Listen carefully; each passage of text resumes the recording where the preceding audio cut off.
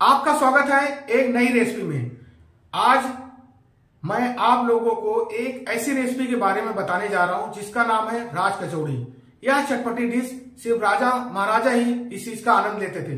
तो आप भी ले सकते हैं और आसानी के साथ घर में बना सकते हैं। तो वीडियो में आगे बढ़ते हैं और बनाना शुरू करते हैं। राज कचौड़ी जैसा नाम, वैसा ही इसका टेस्ट खाने में उतना ही लाजवाब। हम राज कचौड़ी बनाने की सटीक और इजी रेसिपी दिखाएँगे आपको। तो बिना देरी किए चलिए शुरू करते हैं बनाना राज कचौड़ी।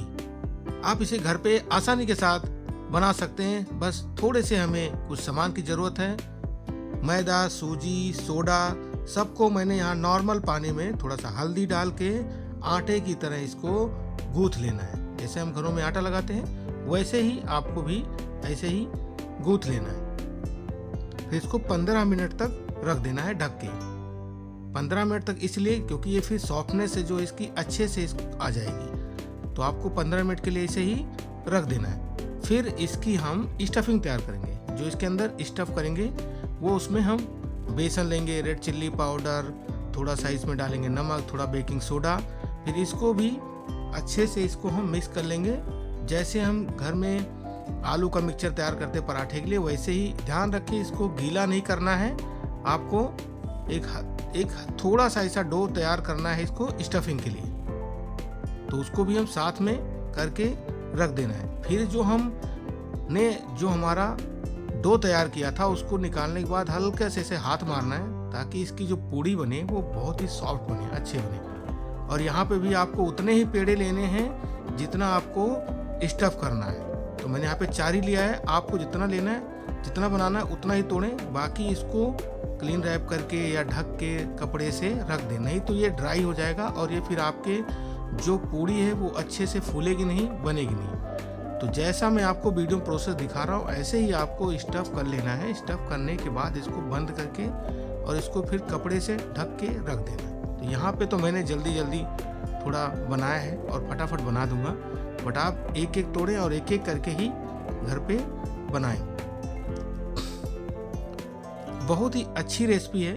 ये मेरा वीडियो पहले भी मैंने यूट्यूब पे बहुत पहले भी डाल चुका हूँ तो आप चाहिए तो वो वीडियो भी देख सकते हैं। और ये वीडियो काफ़ी लोगों ने मेरे को बोला कि, शेफ, बनाओ। तो मैंने ये वीडियो बनाई है।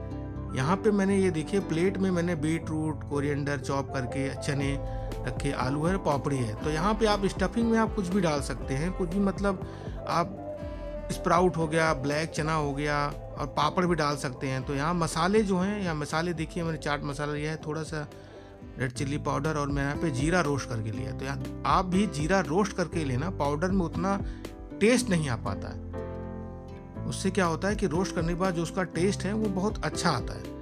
तब देखिए यहाँ पे रिफाइंड ऑयल में पूड़ी बन के डाल दी है।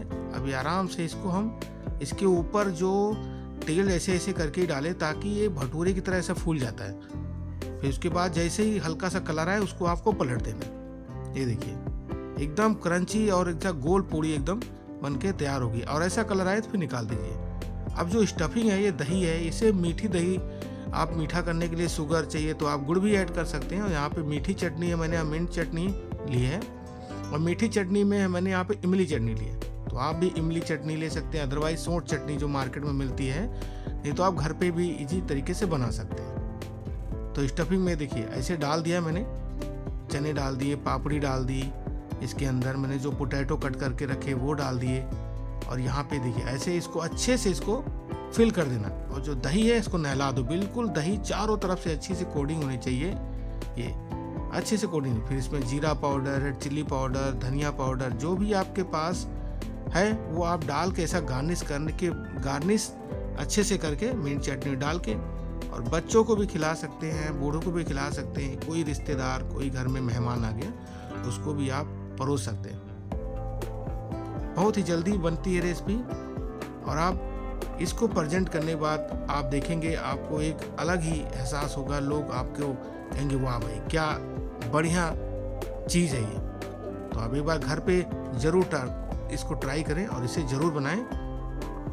देखिए, मस्त बनकर तैयार हुई है राज कचौड़ी। धन्यवाद, मुझे आशा है कि आपको वीडियो या रेसिपी पसंद आई होगी। अगर आप अभी तक इस चैनल को सब्सक्राइब नहीं किया है तो सब्सक्राइब करें और जल्दी आने वाली वीडियो का आनंद लें। फिर मिलते हैं एक नई रेसिपी में, एक नई वीडियो के साथ। तब तक के लिए जय श्री राम।